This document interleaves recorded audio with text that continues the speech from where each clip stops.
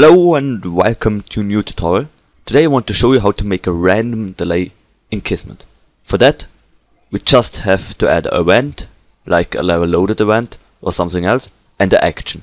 So I will choose the, let's say, sound and play sound action. Now a normal delay, you would just press right click and then set active delay. But that's not a random delay. To do that, just do a right click, new action, and under MISC, there's something that's called delay.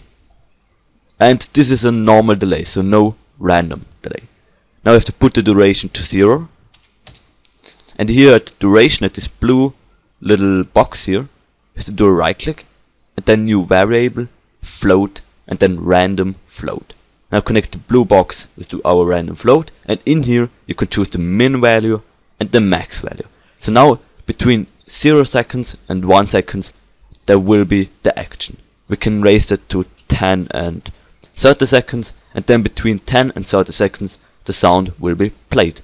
Now connect the event with the start and the finish with the play. And now you have a random delay in UDK. Thank you for watching and until next time.